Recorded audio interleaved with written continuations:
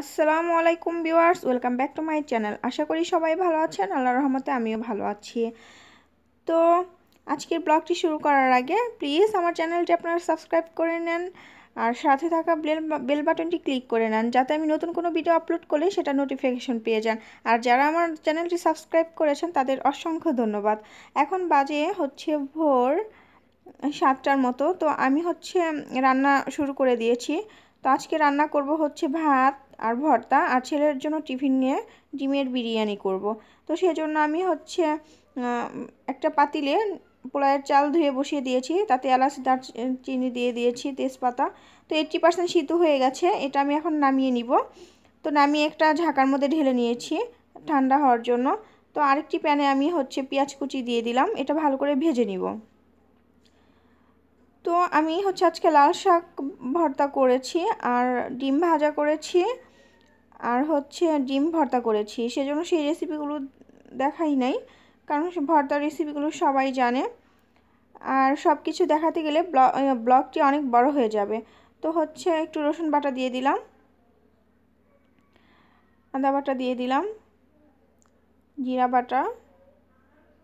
Half KG চাল, সেই অনুযায়ী দিয়ে দিলাম অল্প পরিমাণ করে।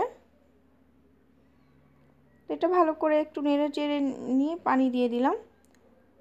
আসলে আজকে আমি হচ্ছে এতে হলুদ দিব, বিরিয়ানি, বিরিয়ানিতে হলুদ দিব।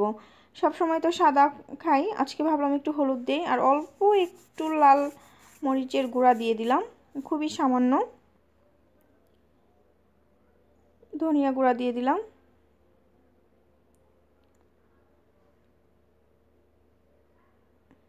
একটুখানি টমেটো সস দিয়েছি, লবণ দিয়ে দিলাম।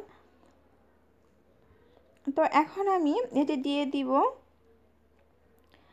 আমি আগেই ভেজে রেখেছি ডিম, সেই ভেজে রাখা ডিমগুলো। দুইটা ডিম আমি সিদ্ধ করে ভেজে নিয়েছি। তো এখন আমার ডিমটা হয়ে গেছে, একটা ডিম উঠিয়ে নিচ্ছি। তো এই, এখন এই ডিমের মধ্যে আমি দিয়ে দিব সেই পোলাওয়ের চালের ভাত, যেটা হচ্ছে আমি এইটটি পারসেন্ট সিদ্ধ করে নিয়েছি। তো এটা ভালো করে আমি ডিমের উপরে দিয়ে দিব। লেয়ার করে। তো তার, এক লেয়ার ভাত দেওয়ার পরে তার উপরে আরেকটি ডিম ছিল সেটা দিয়ে দিয়েছি। এখন বাকি ভাতগুলো দিয়ে এটা ভালো করে ঢেকে রাখব দমে দশ মিনিটের মতো। তো এই তো মোটামুটি হয়ে গেছে এটা। আর দুই এক মিনিট থাকলেই হয়ে যাবে। কালারটা খুবই সুন্দর হয়েছে। তো এই হচ্ছে আমার রেডি ডিমের বিরিয়ানি। তো সবাইকে নাস্তা করি আমার মেয়েকে আমি ঘুম পাড়াতে, ঘুম পাড়িয়ে দিয়েছি। এখন বাজে এগারোটার মতো, বিছানা, পাটি সব কিছু গুছাতে গুছাতে আসলে এগারোটা বেজে গেছে। তো এখন আমি যাব হচ্ছে দুপুরের রান্নার জন্য সব কিছু রেডি করে নিয়েছি। এই তো, আমি হচ্ছে সব কিছু রেডি করে নিয়েছি। আজকে ফুলকপি রান্না করব, টমেটো রান্না করব সেজন্য সব কিছু রেডি করে নিয়েছি। এই তো, লবণ, হলুদ মরিচ দিয়ে মাছগুলো মেখে রেখেছি ভাজার জন্য। মাছ অলরেডি ভাজা প্রায় শেষ।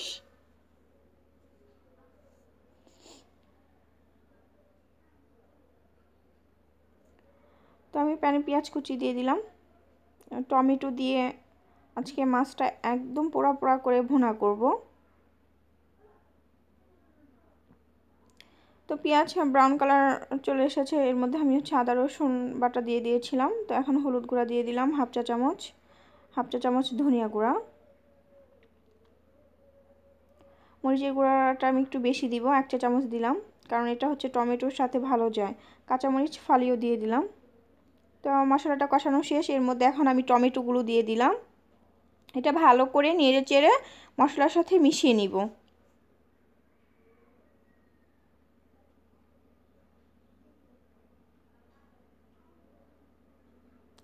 ভেজে রাখা মাছগুলো দিয়ে দিলাম।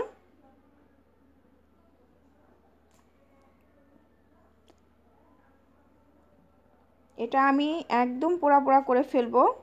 কোনো রকম পানি দিব না। জাস্ট এরকমই ভাজবো এটা।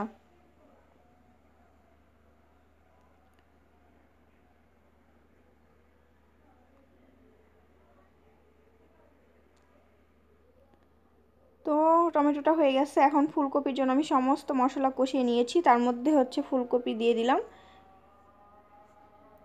কেটে ধুয়ে রেখেছিলাম ফুলকপিগুলো, এটা ভালো করে মশলার সাথে মিশিয়ে নিব।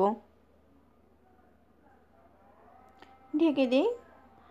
তো আমি সরিষার শাক নিয়ে এসেছিল সবজি কাটার পরে, তো সেগুলো হচ্ছে কেটে বসিয়ে দিয়েছি। ফুলকপিটা হচ্ছে পাশে চুলাতে হচ্ছে। রান্নার শেষ দুপুরের, তারপরে আবার দেখি মাছ নিয়ে এসেছে। কি আর বলব? আমার হাজব্যান্ড বাজার করতে অনেক ভালোবাসে। একদম চিংড়ি মাছগুলো হাঁটাহাঁটি করতেছে, একদম তাজা। তো বিয়ার্স আমার চ্যানেলটি ভালো লাগলে অবশ্যই অবশ্যই সাবস্ক্রাইব করবেন লাইক দিবেন এবং শেয়ার করবেন। আর সাথে থাকা বেল বাটনটি ক্লিক করে রাখবেন যাতে আমি নতুন কোনো ভিডিও আপলোড করলে সেটা নোটিফিকেশান আপনারা পেয়ে যান। আর ছোটো মাছ দেখলে আমার মাথা এমনিতেই নষ্ট হয়ে যায়, কি আর করব, এখন কাটতেই হবে। তো সবাই ভালো থাকবেন, আল্লাহ হাফেজ। আর আমার জন্য দোয়া করবেন।